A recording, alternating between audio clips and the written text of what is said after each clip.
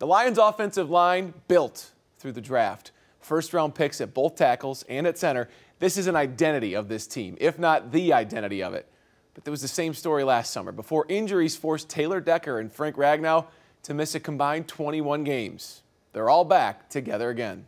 Uh, yeah, I mean, it, it, it, feels great. You know, we felt like that was going to be one of our strengths last year. And so to have all of those guys together, working together, it does. It gives you a lot of confidence. You know, they can move some people, they can pass protect, and they can they work well together. And so, yes, it's a good feeling. Now, that being said, you know, you, you never know what can happen. It happened last year, so we got to be ready to go and have the next guy up and find out who that sixth, seventh guy, those guys are, you know, behind them.